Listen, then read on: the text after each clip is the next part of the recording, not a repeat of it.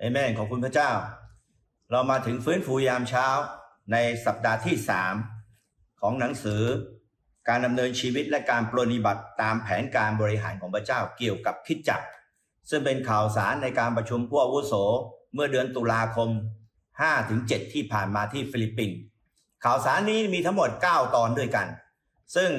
เราได้ผ่านสัปดาห์ที่ 1 สัปดาห์ที่ 2 สัปดาห์นี้เข้าสู่ในสัปดาห์ที่ 3 สัปดาห์ที่ 3 หัวข้อก็คือรู้จักหลักความจริงอย่างครบถ้วน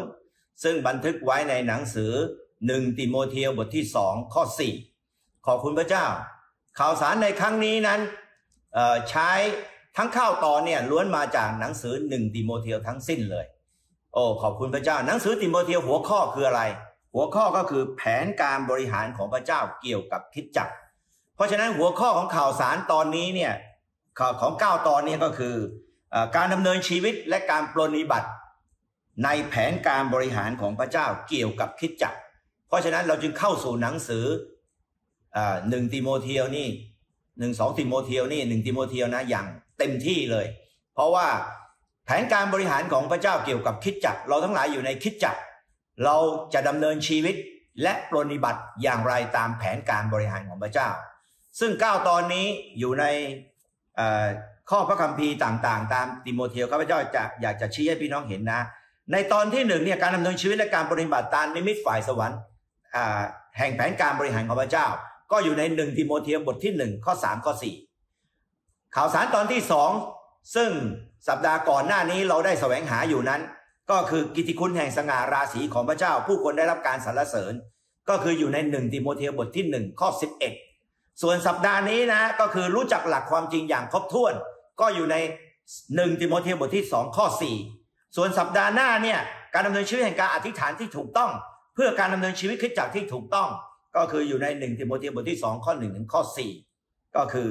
และตอนที่ห้าคนจะประพฤติอย่างไรในบ้านของพระเจ้า ฝึกฝนตัวไปในทางธรรม ก็คือหนึ่งติโมเทีบทที่สามข้อสิบห้าบทที่สี่ข้อเจ็ดถึงข้อแปดบทที่หกข้อสาม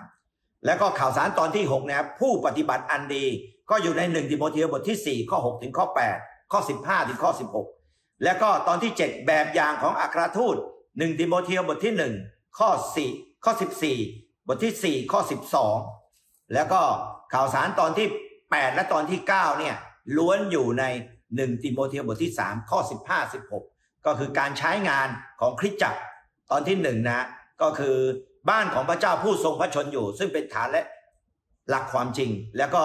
ตอนที่สองนี้เนี่ยก็คือการปรากฏเป็นที่ประจักษ์แก่แห่งกลุ่มชนของพระเจ้าในเนื้อหนัง ข่าวสารนี้เนี่ยเราใช้การประชุมพิเศษสองครั้ง ในการประชุมพิเศษพี่น้องหญิง พูดไปสี่ตอนนะแล้วก็ครั้งนี้เนี่ยเราก็พูดไปอีกอในการประชุมพิเศษที่ผ่านมานั้น ในการประชุมผู้รับผิดชอบ เราก็ได้ใช้ข่าวสารตอนนี้เหมือนกันขอบพระคุณพระเจ้า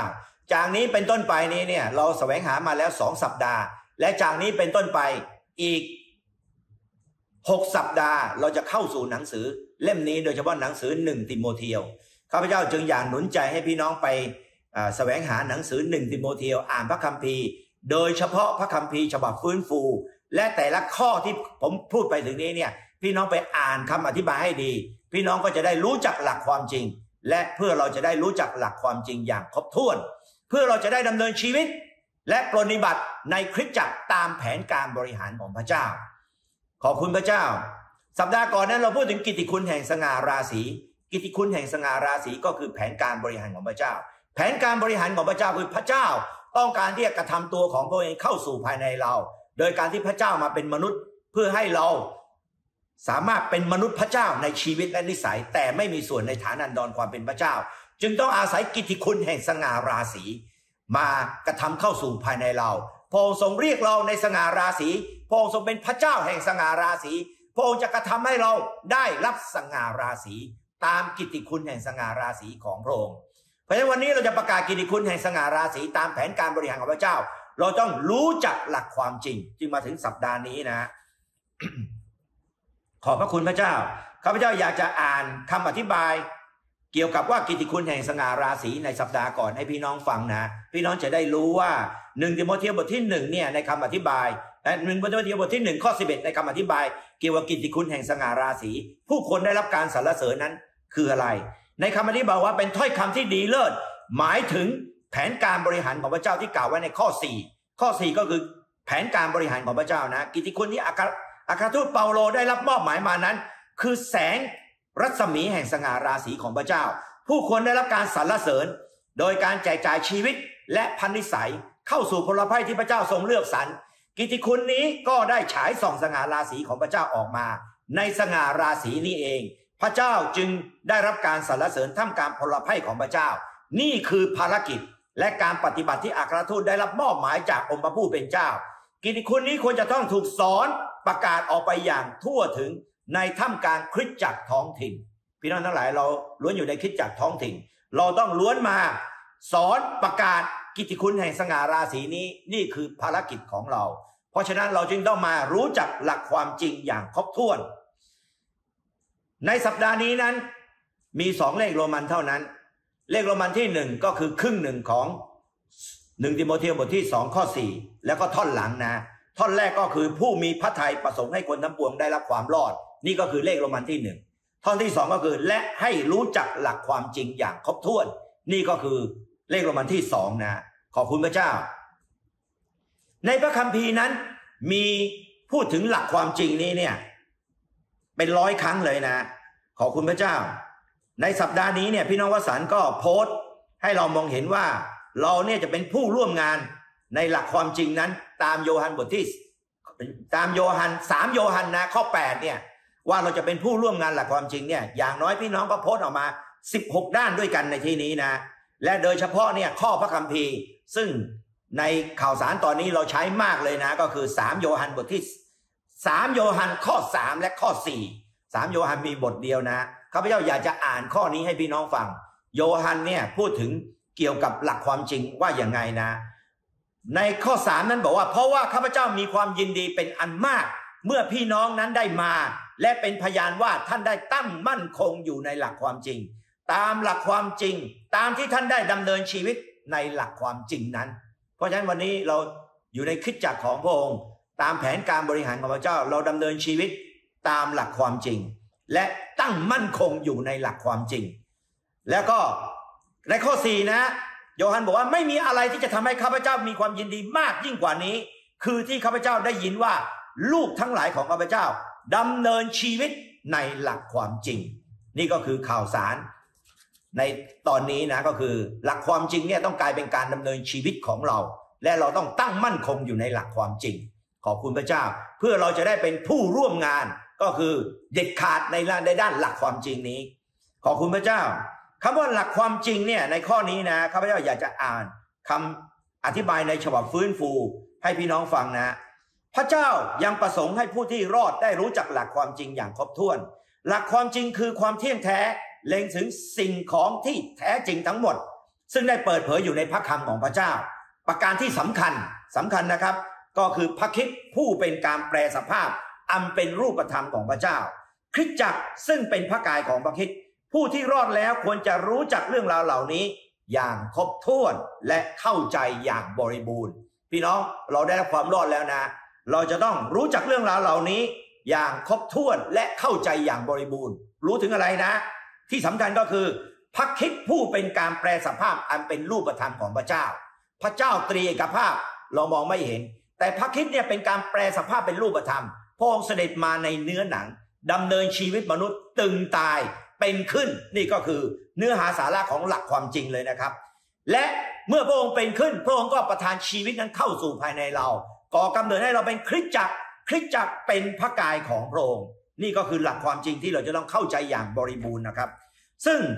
จดหมายทั้งสองฉบับของเปาโลที่เขียนไปให้กับติโมเทียวเนี่ยมีวัตถุประสงค์เพื่อจัดการกับความเสื่อมถอยของคริสตจักร เราดำเนินชีวิตปฏิบัติในคริสตจักรนะ จดหมายฉบับที่หนึ่งความเสื่อมถอยได้คืบคลานเข้ามาอย่างมีเล่ห์เหลี่ยม ในคำสอนที่แตกต่างออกไปจากแผนการบริหารของพระเจ้า ในจดหมายฉบับที่สองนั้นความเสื่อมถอยก็พัฒนาขึ้นอย่างเปิดเผย และเลวร้ายไปกว่าเดิม โดยมิจฉาลัทธิ หากจะจัดการกับความเสื่อมถอยเช่นนี้ ต้องรักษาหลักความจริงไว้ ในหนังสือจดหมายฉบับที่หนึ่งได้เน้นว่าพี่น้องนะก็คือหนึ่งติโมเทียวนะ เน้นว่าพระเจ้าทรงมีพระทัยประสงค์ให้ทุกคน ที่ช่วยให้รอดรู้จักหลักความจริงอย่างครบถ้วน ได้เน้นที่คริสจักรก็คือเสาและฐานรากแห่งหลักความจริง ในจดหมายฉบับที่สองได้เน้นว่า พระคำแห่งหลักความจริงถูกควรถูกอธิบายออกมาอย่างเที่ยงตรง และเน้นว่าผู้ที่ได้หันเหไป ควรจะต้องหันกลับมาสู่หลักความจริง เอแม่ เพราะฉะนั้นพี่น้องนะข่าวสารตอนนี้เนี่ยถูกจะต้องถูกเน้น และก็ข่าวสารอีกตอนหนึ่งนี้เนี่ยก็คือตอนที่ 8 และตอนที่ 9 ก็คือคริสตจักรนี้เนี่ยเป็นเสาและฐานรากแห่งหลักความจริง เพราะฉะนั้นตอนที่หนึ่งนี้เนี่ยเราต้องเน้นในด้านหลักความจริง หลักความจริงก็คือพูดถึง พระคริสต์ผู้นี้เนี่ยเป็นการแปลสภาพเป็นรูปธรรมของพระเจ้า ก็คือเนี่ยพระองค์ได้เสด็จมาเป็นเนื้อหนัง และดำเนินชีวิตมนุษย์ตึงตายเป็นขึ้น พระองค์ทรงประทานกลายเป็นพระวิญญาณนั้นพระวิญญาณผู้ประทานชีวิตกระทำเข้าสู่ภายในเราไม่ใช่ภายนอก เพื่อให้เราสามารถกลายเป็นคริสตจักร และคริสตจักรนี้เนี่ยต้องเป็นเสาและฐานรากแห่งหลักความจริง ขอบพระคุณพระเจ้า เพราะฉะนั้นนี่ก็คือเนื้อหาสาระสำคัญของหนังสือติโมเทล ซึ่งพูดเกี่ยวกับแผนการบริหารของพระเจ้า เกี่ยวกับคิดจักรนะครับ ขอบพระคุณพระเจ้า ตอนนี้เรามาดูสองเลขโรมันนี้เนี่ยก็คือในเลขโรมันที่หนึ่งเนี่ยก็คือเราจะต้องมีภาพปฏิบัติในหลักความจริง เลขโรมันที่หนึ่งพูดถึงการฟื้นฟูของผู้เป็นเจ้าก็คือการฟื้นฟูความสว่างของหลักความจริง ความสว่างของหลักความจริงเนี่ยมีอะไรบ้างนะ หลักความจริงคืออะไร หลักความจริงก็คือสิ่งที่แน่แท้จริงแท้ สัตย์จริงและความจริงใจ โดยเฉพาะในคำอธิบายตรงนั้นเนี่ยพูดถึงในหลักความจริงท่ามกลางเรานะ ก็คือพระเจ้าผู้เป็นความสว่างและเป็นความรัก อันที่หนึ่งหลักความจริงของเราคือพระเจ้านะอันที่สองก็คือพระคิดผู้เป็นพระเจ้า อันที่สามก็คือพระวิญญาณนั้นสี่ก็คือพระคำห้าก็คือเนื้อหาสาระแห่งหลักความเชื่อหกก็คือความเที่ยงแท้หนึ่งเดียว ความเที่ยงแท้หนึ่งเดียวเกี่ยวกับ พระเจ้าจักรวาลมนุษย์ ความสัมพันธ์มนุษย์พระเจ้า เพื่อนมนุษย์และความรับผิดชอบหน้าที่ของมนุษย์ที่มีต่อพระเจ้า นี่ก็คือความเที่ยงแท้เกี่ยวกับจักรวาลนะ ก็คือหลักความจริงเหมือนกัน และความประการที่ 7 นะก็คือความสัตย์จริง ความน่าเชื่อถือ และก็ประการที่ 8 ก็คือสิ่งที่จริง หรือสิ่งที่จริงแท้ก็คือในคำอธิบายของในหนึ่งโยฮัน ตรงนี้นะก็คือให้เรามองเห็นถึงหลักความจริงที่เราจะต้องเข้าสู่นะครับ ขอบพระคุณพระเจ้าหนึ่งโยฮันบทที่หนึ่งข้อห้าข้อหกนะตรงนั้น การที่เราจะมีภาพปฏิบัติในหลักความจริง ก็คือการดำเนินชีวิตออกซึ่งหลักความจริง จนเคยชินไม่ได้เป็นแต่เพียงการกระทำตามหลักความจริงชั่วครั้งชั่วคราวเท่านั้น หลักความจริงเนี่ยเราจะต้องเข้าสู่จนกระทั่งกลายเป็นความเคยชินกลายเป็นสิ่งที่ก่อรูปอยู่ภายในเรา กลายเป็นสิ่งที่ บำรุงเลี้ยงเราในระยะยาว และสามารถนำออกมาใช้เป็นคำสอนให้แก่ผู้อื่น พูดออกมา ซึ่งความจริงแท้ของพระเจ้าตรีเอกภาพ ในจักรวาลนี้เนี่ยในมนุษย์การดำเนินชีวิตของเราบนโลกนี้นั้น มีมนุษย์เรื่องราวสิ่งของ มนุษย์เรื่องราวสิ่งของเนี่ยล้วนเป็นสิ่งที่ไม่จริงแท้จะต้องผ่านพ้นไป ไม่มีอะไรยืนยงอยู่ถาวร เพราะฉะนั้นในพระบิดาเราต้องคัดสรรสิ่งที่ ประเสริฐสิ่งที่ล้ำค่าออกจากสิ่งที่ไร้ค่า พี่น้องทั้งหลายเราอยู่บนโลกนี้ สิ่งที่ล้ำค่าของท่านคืออะไร ก็คือหลักความจริง ถ้าเราเป็นเช่นนี้เราก็จะเป็นปากของพระเจ้า พูดพระคำของพระเจ้า ประกาศกิติคุณแห่งสง่าราศีโดยไม่ต้องเป็นเป็นคนที่สามารถแยกแยะหลักความจริง โดยไม่ต้องอายเลย ขอพระคุณพระเจ้า เพราะฉะนั้นหลักความจริงเนี่ยต้องถูกก่อรูปเข้าสู่ภายในเรา ขอพระคุณพระเจ้าเอเมนนะครับ ทีนี้เนี่ยในเลขโรมันที่ที่สองก็พูดถึงรู้จักหลักความจริงอย่างครบถ้วนก็คือ ประเด็นนี้เนี่ยเราจะเข้าสู่กันนะก็คือมีสองเลขโรมันเท่านั้นเอง ขอพระคุณพระเจ้า ตอนนี้เรามาดูเข้าสู่ในสองประเด็นนี้นะสองประเด็นเราเข้าสู่ประเด็นที่หนึ่งก่อนก็คือ การฟื้นฟูของผู้เป็นเจ้านะ วันนี้เราอยู่ในการฟื้นฟูของผู้เป็นเจ้า ฟื้นฟูอะไร ก็คือฟื้นฟูความสว่างของหลักความจริง ความสว่างของหลักความจริงเมื่อกี้ข้าพเจ้าได้พูดไปแล้ว มีทั้งหมดนี้เนี่ยเจ็ดด้านด้วยกันนะขอพระคุณพระเจ้าแปดด้านเนี่ยแปดด้านเนี่ยขอพระคุณพระเจ้า อีกครั้งหนึ่งนะแปดด้านนี้มีอะไรบ้างนะก็คือ พระเจ้า พระคิดพระวิญญาณนั้นพระคำเนื้อหาสาระแห่งหลักความเชื่อ ความเที่ยงแท้หนึ่งเดียว แล้วก็ความสัตย์จริงแห่งความน่าเชื่อถือ แล้วก็สิ่งที่จริงแท้ สิ่งที่น่านับถือ สิ่งสิ่งที่จริง สิ่งที่จริงและสิ่งที่จริงแท้นะครับ ขอพระคุณพระเจ้า ในวันจันทร์นะ หลักความจริงคือการส่องสว่าง ของความสว่าง ซึ่งก็คือการสำแดงออกซึ่งความสว่างอันศักดิ์สิทธิ์ในโยฮันบทที่ 8 ข้อสอบข้อ 12 บอกว่าเราเป็นความสว่างของโลก ผู้ที่ตามเรามาจะมีความสว่างแห่งชีวิต และในข้อ 12 บอกว่า ท่านทั้งหลายจะรู้จักหลักความจริง และหลักความจริงจะทำให้ท่านทั้งหลายเป็นไทย ขอบพระคุณพระเจ้าคำว่าหลักความจริงตรงนี้นี่เนี่ย จะทำให้เราเป็นไทย เป็นไทยคืออะไร ก็คือวันนี้เนี่ยเราจะสามารถหลุดพ้นจากสิ่งผูกมัดทั้งหลาย ในโลกนี้ ในโลกนี้ผูกมัดเราด้วยอะไร ด้วยความมืด ซึ่งซาตานเนี่ยในสัปดาห์ที่ที่แล้วนะก็พูดถึงเนี่ยซาตานเนี่ยใช้ความมืดมาปิดบังเราทำให้เรามองไม่เห็นทำให้เรามองเห็นแต่สิ่งที่มันเอามา ซึ่งเป็นสิ่งที่ชั่วคราว และมุสาด้วย ก็คือมนุษย์เรื่องราวสิ่งของซึ่งวันหนึ่งจะต้องผ่านพ้นไปนะ ไม่มีอะไรที่คงอยู่ ทรัพย์สินเรื่องราวทรัพย์สินจักรวาลนี้ ไม่ว่าอะไรทั้งสิ้นเนี่ยจะต้องผ่านพ้นไป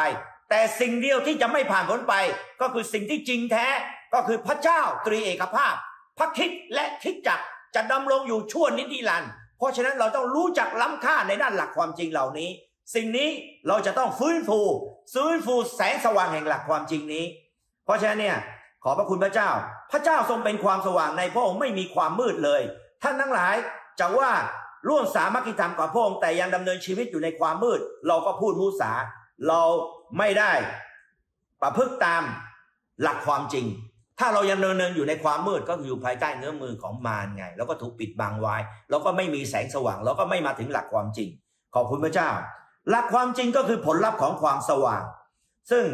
ในโยฮันบทที่หนึ่งข้อสี่บอกว่าในพระองค์มีชีวิตและชีวิตนั้นเป็นความสว่างของมนุษย์ทั้งปวง เมื่อเราได้รับชีวิตของพระองค์ชีวิตของพระองค์ถูกหล่อเลี้ยงเข้าสู่ภายในเรา ความสว่างก็ส่องเข้ามาด้วย ขอบพระคุณพระเจ้า และในข้อเจ็ดบอกว่าพระองค์เนี่ยเป็นพยานถึงความเราเป็นพยานถึงความสว่าง และในบทที่และในโยฮันบทที่สามข้อยี่สิบบอกว่า ทุกคนที่ประพฤติตามหลักความจริง ย่อมมาถึงความสว่าง เมื่อเราอยู่ในหลักความจริงเราก็อยู่ในความสว่าง ขอพระคุณพระเจ้า และในบทที่แปดข้อสามสิบสองนะ เราจะต้องมาดำเนินชีวิตอยู่ภายใต้ความสว่างนี้ ขอพระคุณพระเจ้า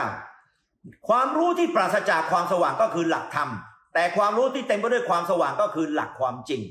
ขอบคุณพระเจ้า ในเมื่อพระเจ้าทรงเป็นความสว่าง ความเที่ยงแท้ก็คือหลักความจริง ก็คือพระเจ้าที่ได้สำแดงออกมา พระคิดผู้เป็นแม่แบบคือการดำเนินชีวิตของอพระเจ้า ทุกๆคนทุกๆด้านในด้านความในด้านความในในด้านการดำเนินชีวิต ล้วนสอดคล้องกับความเที่ยงแท้นี้ก็คือหลักความจริง คือสำแดงพระเจ้าออกมา ขอบพระคุณพระเจ้า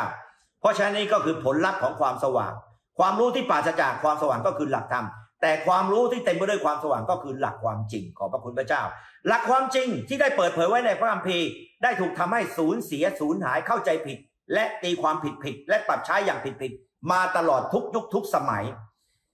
ใน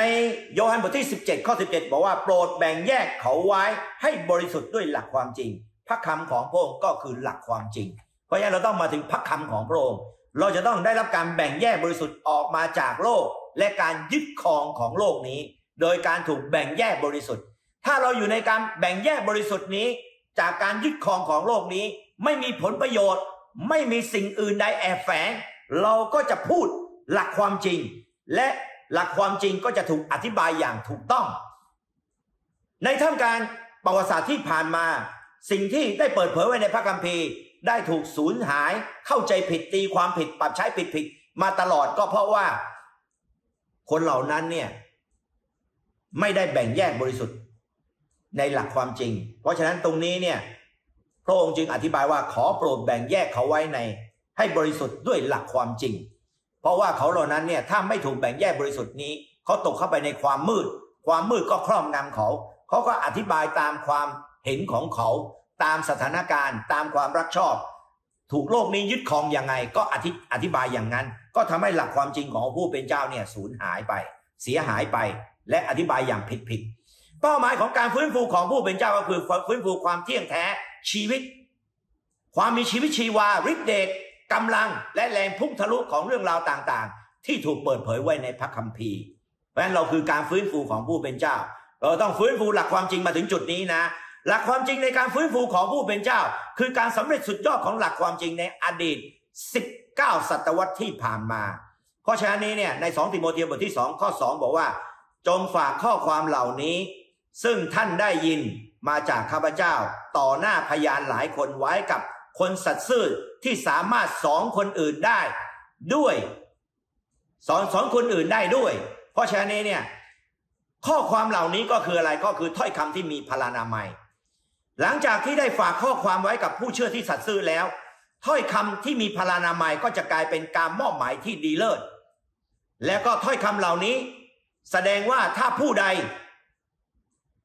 ในขึ้นจากท้องถิ่นได้รับการมอบหมายถ้อยคำที่มีพลานามัยของผู้เป็นเจ้า ผู้นั้นก็ต้องฝึกฝนผู้สัตย์ซื่อให้เขาเหล่านั้นได้รับการมอบหมายที่ดีเลิศจากองค์พระผู้เป็นเจ้า ผู้เป็นพระคำและ สามารถสอนคนอื่นได้ ขอพระคุณพระเจ้า นี่ก็คือสิ่งที่เปาโลเนี่ยพูดถึงนะ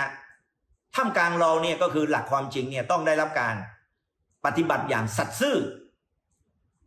เราต้องฝึกฝนคนกลุ่มหนึ่งขึ้นมา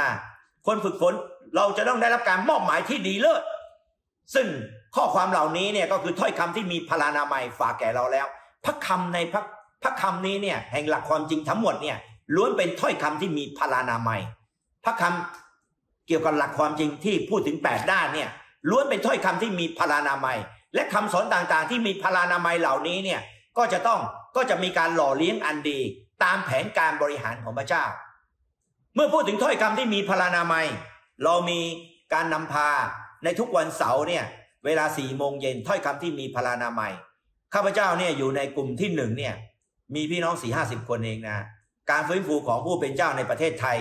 โอ้สี่กลุ่มกลุ่มอื่นเพราะข้าพเจ้าไม่รู้มีกี่คน ก็เนี่ยน่าจะมีไม่กี่คน เพราะฉะนั้นเนี่ยก็คล้ายๆ กับกลุ่มหนึ่งกลุ่มสองกลุ่มหนึ่งมีหกเจ็ดสิบคนอย่างนี้เนี่ยสี่กลุ่มก็สามร้อยคน น่าจะประมาณนั้น และพี่น้องที่อยู่ในการฟื้นฟูในองค์พระผู้เป็นเจ้าเนี่ยสองพันคนอยู่ที่ไหน เพราะฉะนั้นวันเสาร์เนี่ยข้าพเจ้าเห็นพี่น้องที่ประกาศ โดยเฉพาะวันวันนี้เนี่ยที่ข้าพเจ้าอัดข่าวสารอยู่เนี่ย ตอนบ่ายวันนี้นะ พี่น้องบอกพี่น้องเชิญพี่น้องแบ่งปัน เชิญพี่น้องแบ่งปัน พี่น้องก็มีอยู่แค่นั้น แล้วก็หน้าเดิมเดิมพี่น้องหลายคนไม่ได้เข้าสู่ถ้อยคำที่มีพลานามัยเลย แล้วท่านจะสอนคนอื่นได้อย่างไง เพราะฉะนั้นเนี่ยเราจะต้องฝากข้อความเหล่านี้ที่มีพลานามัย ซึ่งข้อความเหล่านี้เนี่ยซึ่งเราได้ยินจากพี่น้องอัครทูตทั้งหลายที่อยู่เบื้องหน้า เราต้องสามารถสัตซ์ซื่อที่จะสอนคนอื่นได้ด้วย สัตซ์ซื่อต่อสิ่งเหล่านี้นะข้าพเจ้าหนุนใจพี่น้องเข้าสู่ถ้อยคำที่มีพลานามัย ในวันอังคารแล้วนะครับ เราต้องมีหลักความจริงที่กระถูกกระทำเข้าสู่ภายในเราก่อรูปอยู่ภายในเรา ในหนึ่งโยฮันบทที่แปด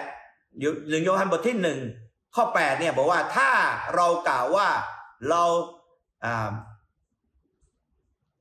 เราไม่มีบาปเราทั้งหลายก็ เป็นคนที่ พูดมุสาและหลักความจริงไม่ได้อยู่ในเราเลย แล้วก็ในบทที่สองข้อสี่บอกว่ากฎบัญญัตินั้น เรารู้กฎบัญญัติแต่ไม่ได้ถือรักษากฎบัญญัติ เราก็พูดมุสาและหลักความจริง ไม่ได้อยู่ในเราเลย ในสมโยฮันบทที่หนึ่งข้อสองบอกว่าเรารู้จักหลักความจริงหลักความจริงเนี่ยก็คือเราก็จะรักผู้อื่นนะ เพราะเห็นแก่หลักความจริง ที่อาศัยอยู่ในเราทั้งหลาย และดำรงอยู่ในเราเป็นนิดก็เราต้องให้หลักความจริงเนี่ยอาศัยอยู่ในเรา และดำรงอยู่ในเราเป็นนิด ก็คือถ้าพูดถึงกฎบัญญัติพระคำของพระเจ้าเราต้องถือรักษาไม่ใช่รู้เท่านั้น เพราะฉะนั้นเนี่ยถ้าหากว่าเราบอกว่าเราไม่มีบาป เราก็พูดมุสาแล้วหลักความจริงไม่ได้อยู่ในเราเลย ครั้งหนึ่งนี้เนี่ย ข้าพเจ้าก็เคยใช้หลักการของพี่น้องวัชแมนนีเนี่ยพี่น้องวัชแมนนีเคยมอบพระคัมภีร์ให้แก่คนที่เขารัก และเขียนพระคัมภีร์ในนั้นบอกว่า อ่านพระคัมภีร์ ท่านจะไม่ทำบาปแต่ความบาปจะทำให้ท่านไม่อ่านพระคัมภีร์ เพราะฉะนั้นเนี่ยความบาปมาจากมารมาจากเจ้าเล่ห์ที่ทำให้เราทำบาปก็จะทำให้คุณเนี่ย อยู่ในความมืด ไม่ยอมมาถึงความสว่างแห่งพระคำของพระเจ้า เราอ่านพระคำของพระเจ้า เราก็จะมีหลักความจริง เราก็จะพบกับแสงสว่าง ความสว่างเหล่านี้ก็จะจดจำอยู่ภายในเรา ในระยะยาวเป็นหลักความจริงที่สัมสมไว้ภายใน เพราะฉะนั้นเนี่ยอ่านพระคัมภีร์ครับ อ่านพระคัมภีร์ฉบับฟื้นฟูมีคำอธิบาย โดยเฉพาะนี่เนี่ยในวันเวลาเหล่านี้นั้นพี่น้อง ในวันยุคสุดปลายเนี่ยเราจะต้องมาถึงพระคำของพระเจ้า อย่างสัตย์ซื่อและอ่านอย่างเอาเป็นเอาตาย พี่น้องทั้งหลายนะ อย่าปล่อยปล่อยผ่านไป เวลาของเราสูญเสียไปกับอะไร พี่น้องนะ โอ้พระเยซูโดยเฉพาะถ้อยคำแห่งการปฏิบัติ ทั้งหลายเนี่ยมาถึงเราการประชุมปีละเจ็ดครั้ง ออกมาเป็นการประชุมพิเศษของเราออกมาเป็นพระคำแห่งการฟื้นฟูยามเช้า พระคำฟื้นฟูยามเช้ามีโครงร่าง ในโครงร่างแต่ละข้อมีพระคัมภีร์กำกับไว้เยอะแยะ พระคัมภีร์แต่ละข้อท่านได้เปิดอ่านคำอธิบายหรือเปล่า ถ้าท่านอ่านอย่างนี้ พระคำเหล่านี้ก็จะก่อรูปเป็นหลักความจริงเข้าสู่ภายในเรา และหลักความจริงเหล่านี้เนี่ยก็จะกลายเป็นคำสอนที่อยู่ภายในเรากลายเป็นแสงสว่าง กลายเป็นกิตติคุณแห่งสง่าราศีโอ้พระเยซูพระยานี้เนี่ยเราจำต้องมาถึงจุดนี้ทำไมวันนี้เราไม่กล้าออกไปประกาศกิตติคุณ ราะคุณไม่มีหลักความจริงไง ไปไม่รู้จะพูดอะไรไง พี่น้องถึงบอกกันแล้วว่า วันนี้เนี่ยเราจะได้ประกาศกิติคุณที่ตื้นเขิน ทุกวันนี้เนี่ยคนมันก้าวหน้าแล้วนะเขามีความรู้ คุณไปประกาศกิติคุณว่า ตกนรกไม่ตกนรกขึ้นสวรรค์เนี่ยโอ้ยตื้นเขินเขาก็รู้เขาฟังมาเยอะแล้ว เพราะฉะนั้นเราต้องประกาศกิติคุณ แห่งสง่าราศีตามแผนการบริหารของพระเจ้า พระเจ้าผู้นี้กระทำเข้าสู่ภายในเราอย่างไร โดยใช้ความลี้ลับแห่งชีวิตมนุษย์ ความลี้ลับแห่งชีวิตมนุษย์เนี่ยท่าน รู้ไหมฮะก็คือเนี่ย ความลี้ลับแห่งชีวิตพระเจ้ากระทำพระเจ้าต้องการกระทำเข้าสู่ภายในวิญญาณของเรา เพื่อแผ่ขยายเข้าสู่จิตและกายของเราทำให้เราหลุดพ้นจากความบาป เพราะฉะนั้นเราต้องเชื่อพระองค์พระองค์ผู้นี้เนี่ย เป็นพระเจ้าได้การมาเป็นมนุษย์ดำเนินชีวิตมนุษย์ 33 ปี หลังจากนั้นพระองค์ตายเป็นขึ้น กลายเป็นพระวิญญาณผู้ประทานชีวิต สามารถแจกจ่ายชีวิตนี้เข้าสู่ภายในเรา มีชีวิตที่นิรันดร์ ทำให้เราพ้นจากความตายเข้าสู่ในสง่าราศีนิรันดร์ของพระองค์ขอบพระคุณพระเจ้า นี่คือกิติคุณที่สง่าราศีที่เราจะต้องเป่าประกาศนะครับ เพราะฉะนั้นเนี่ยวันนี้ถ้อยคำแห่งการปฏิบัติทั้งหลายนะ พี่น้องบอกว่าเนี่ยเราเนี่ยจะต้องเข้าสู่ทุกถ้อยคำเข้าสู่ทุกประเด็น พี่น้องนะ พี่น้องบอกว่าในบ้านของเราเนี่ยจะต้องมีหนังสือฝ่ายวิญญาณวางอยู่ทุกแห่งหน ไม่ว่าในห้องนอน ห้องครัว ห้องอาหาร โต๊ะทำงาน จะต้องมีหนังสือฝ่ายวิญญาณเหล่านี้มากมายคำพูดนี้เนี่ยพี่น้องพูดมาหลายปีแล้วนะแต่ตอนนี้เนี่ยพระคำของพระเจ้าจะต้องเข้าสู่ในมือถือของเรา ในมือถือของเราเนี่ยมือถือของข้าพเจ้านี้เนี่ยไม่มีอย่างอื่นมากนะข้าพเจ้าซื้อมือถืออย่างดี เพื่อที่จะเอาพระคำปฏิบัติใส่อยู่ข้างใน โอ้ พี่น้องทั้งหลาย โดยเฉพาะนี้เนี่ยเนี่ยเรากำลังแสวงหาเนี่ย พระคำแห่งเทศกาลขอพระคุณพระเจ้าที่พูดออกมา เราจะต้องรับสุภคิด เพื่อเติบโตในชีวิต และสุขงอมในชีวิต ซึ่งข่าวสารเนี่ยออกมาหกตอนนะ ตอนนี้เนี่ยผู้ที่ฟังภาษาจีนภาษาอังกฤษได้นี่เนี่ยหรือภาษาอื่นๆได้นะ หลายภาษานะที่เขากำหนดไว้ข้างในเนี่ยสามารถเข้าไปดูได้ วันนี้ข้าพเจ้าก็โพสต์เข้าไปข้าพเจ้าก็ดีใจพี่น้องปิยะก็ตอบกลับมาทันทีเลยว่ากำลังแปลเข้าไป คิดว่าภายในอีกไม่กี่สัปดาห์ก็จะ สามารถเข้าสู่ได้ ข่าวสารเหล่านี้พอออกมาป๊อบนะ พี่น้องก็ให้เราดูฟรีเลย มีทั้งวิดีโอ มีทั้งเสียง มีทั้งโครงร่าง ภาษาต่างๆ เร็วๆนี้จะมีภาษาไทยเข้าไปด้วย ขอบพระคุณพระเจ้าพระเจ้าตื่นเต้นกับเรื่องนี้มาก พี่น้องท่านสามารถเข้าสู่ได้ ท่านสามารถเปิดในมือถือเข้าสู่ได้ และพี่น้องข่าวสารนี้นะจะให้เราดูถึงวันที่ 26 นี้ ข้าพเจ้าหวังว่าเนี่ยพี่น้องทุกคนเนี่ยก่อนวันที่ 26 นี้ ทุกคนจะเข้าสู่ข่าวสาร 6 ตอนนี้ และในวันที่ 16 17 นี้ เราจะมีการประชุมพิเศษ ภาคเหนือนะก็คือใช้ข่าวสาร 6 ตอนนี้ ขอพระคุณพระเจ้า เราจะรับสุขพระคิดจนกระทั่งเติบโตและสุขงอมในชีวิต ขอพระคุณพระเจ้า การถูกก่อรูปด้วยหลักความจริงก็คือการมีองค์ประกอบทางภายในของการเปิดเผยอันศักดิ์สิทธิ์ถูกกระทำเข้าสู่ภายในเรา จนกลายเป็นส่วนแห่งการก่อรูปของเรา สิ่งที่เราเป็นทางภายในการก่อรูปทางอินทรียภาพของเรา ในการก่อกำเนิดคริสจักรช่วยเหลือให้คริสจักรดำรงอยู่ ก่อสร้างคริสจักรนั้น มีความจำเป็นอย่างเร่งด่วนที่ต้องมีหลักความจริง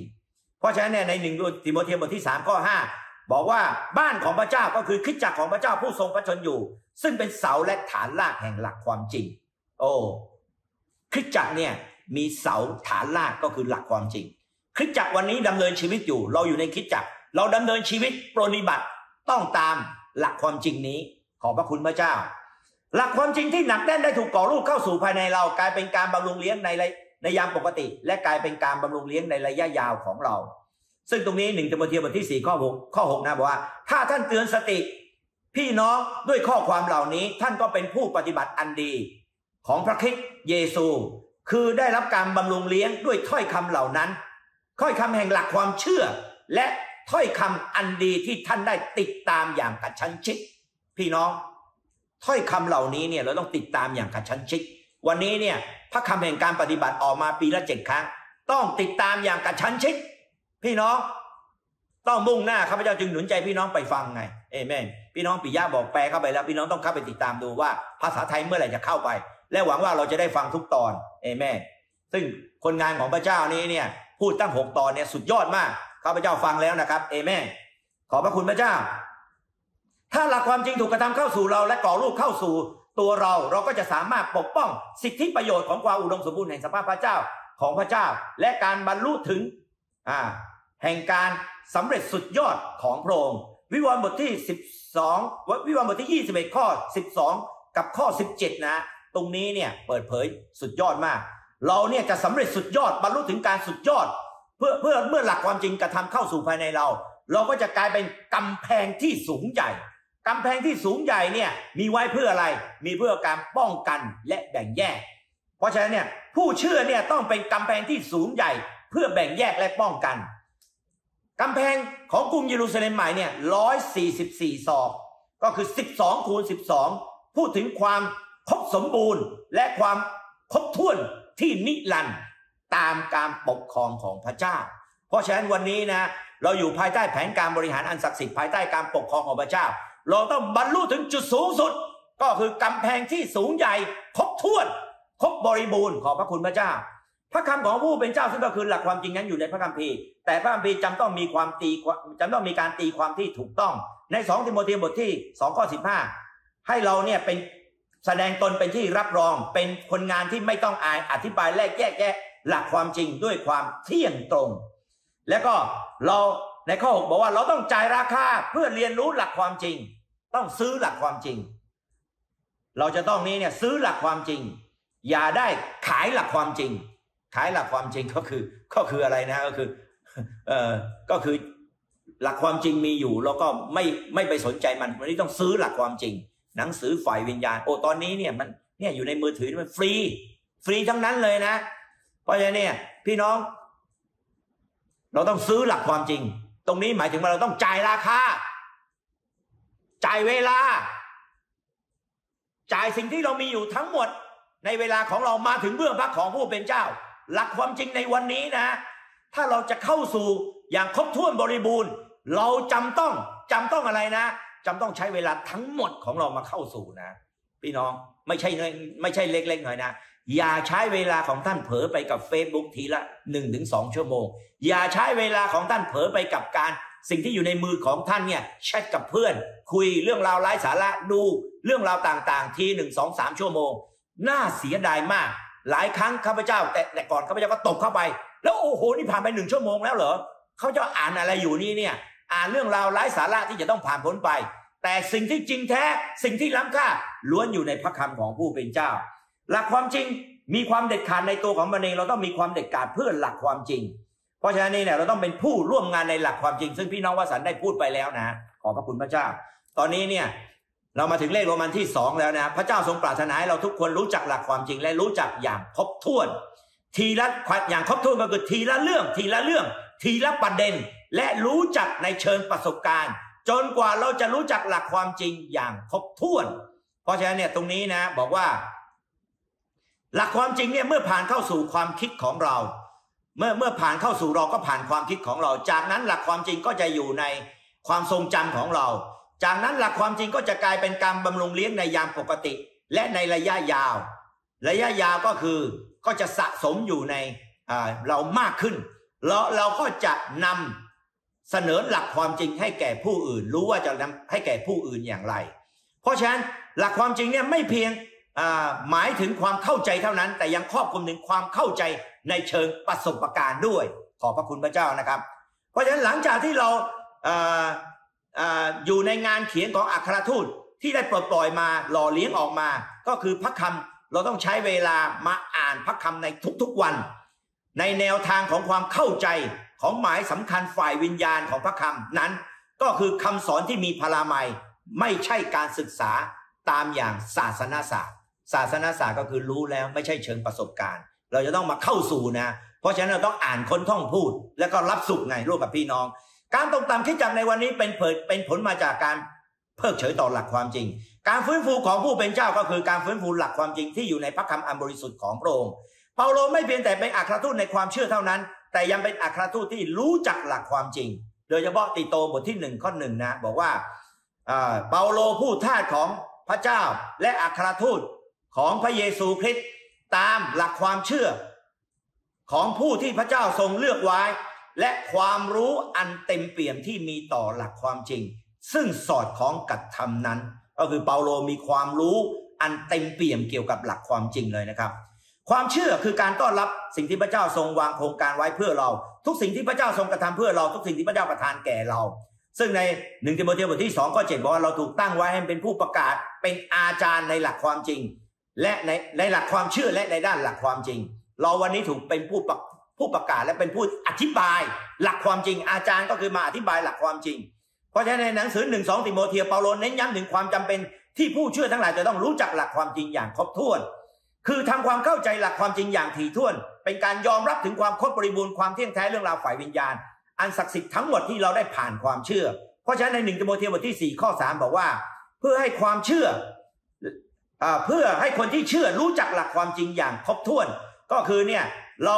คนที่เชื่อเนี่ยเราเริ่มต้นชีวิตฝ่ายวิญญาณ รู้จักหลักความจริงอย่างครบถ้วนก็คือเติบโต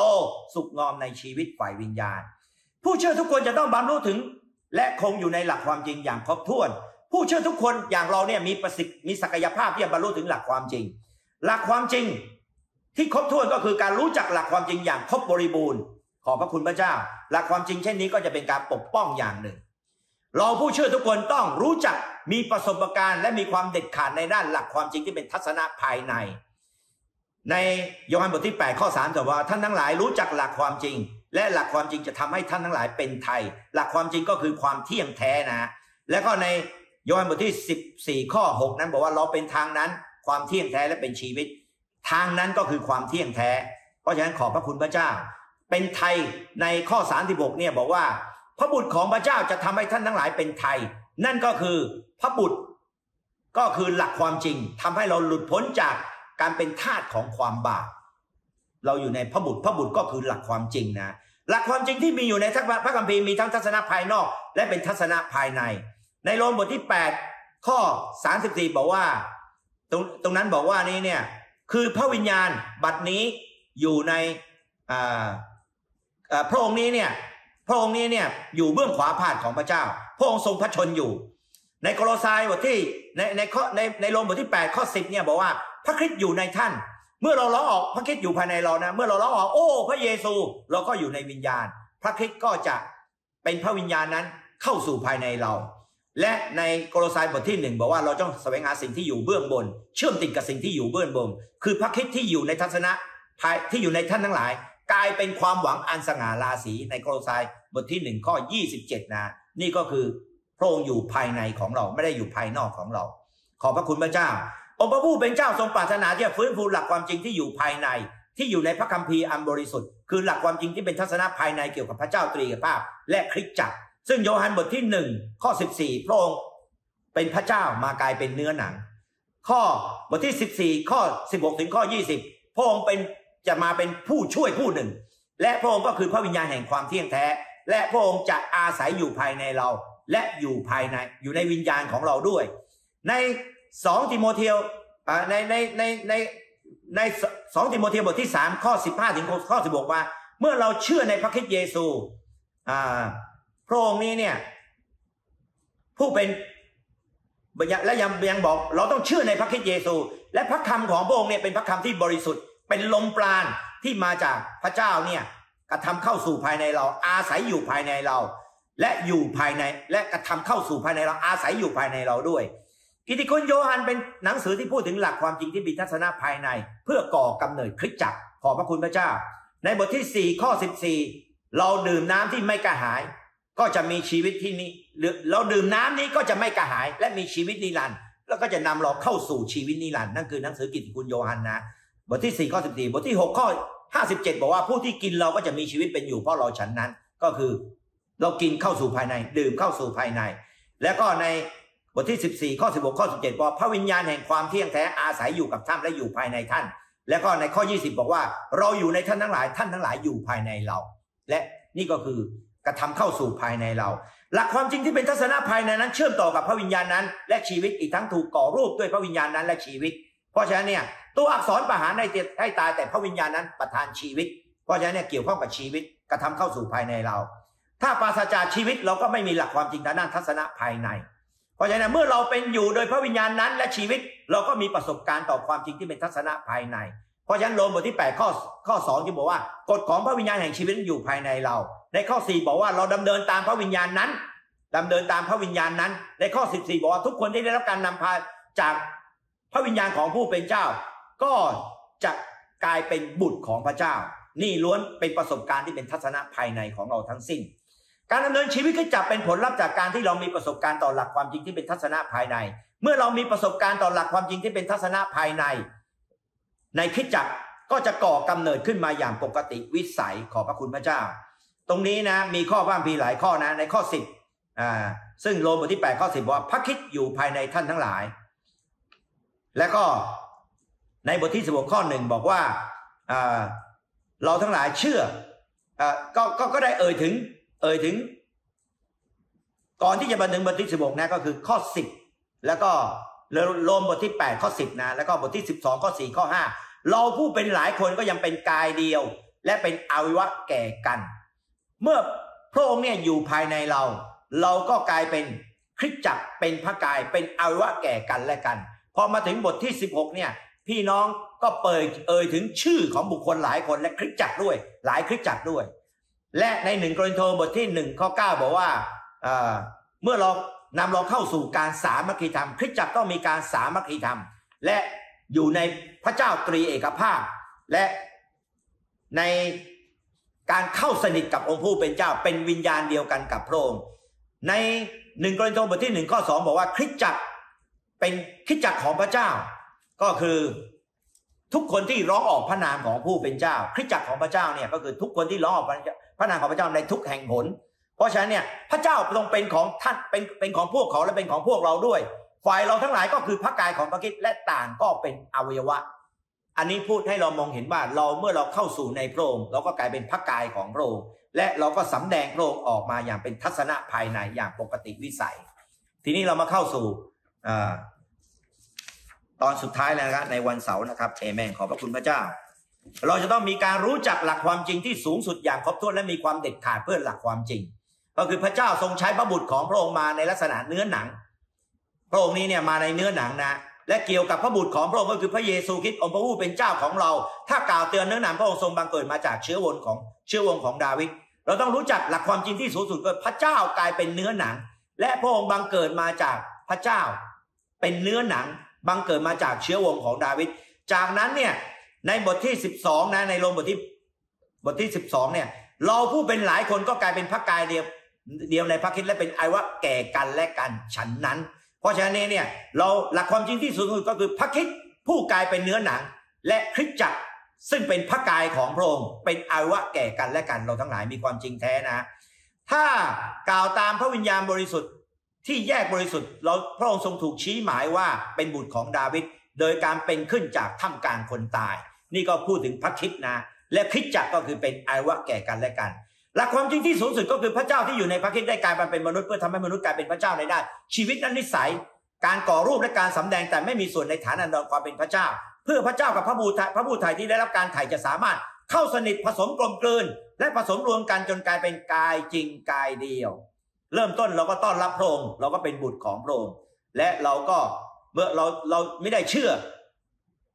จากความประสงค์ของเลือดเนื้อ แต่เราเกิดจากพระเจ้า เพราะฉะนั้นเนี่ยเราก็มีชีวิตและพันธิสัยของพระเจ้า เราก็จะถูกผสมกลมกลืน กลายเป็นการสำเร็จสุดยอดในกรุงเยรูซาเล็มใหม่ก็คือ ผสมรวมกันกลายเป็นกายจริงกายเดียว จุดสุดยอดแห่งการเปิดเผยอาเศษก็คือเพชรที่อยู่ในพระคัมภีร์ ซึ่งเป็นกล่องคือการเปิดเผยที่ว่าพระคริสต์นั้น พระเจ้าทรงกลายเป็นมนุษย์เพื่อมนุษย์จะกลายเป็นพระเจ้าในนั้น ชีวิตนั้นนิสัยแต่ไม่มีส่วนในฐานันดรความเป็นพระเจ้า พระเจ้าทรงกลายเป็นมนุษย์ผ่านการกลายเป็นเนื้อหนัง มนุษย์กลายเป็นพระเจ้าผ่านการบังเกิดใหม่แบ่งแยกบริสุทธิ์เปลี่ยนใหม่เปลี่ยนแปลงถอดแบบและได้รับสง่าราศี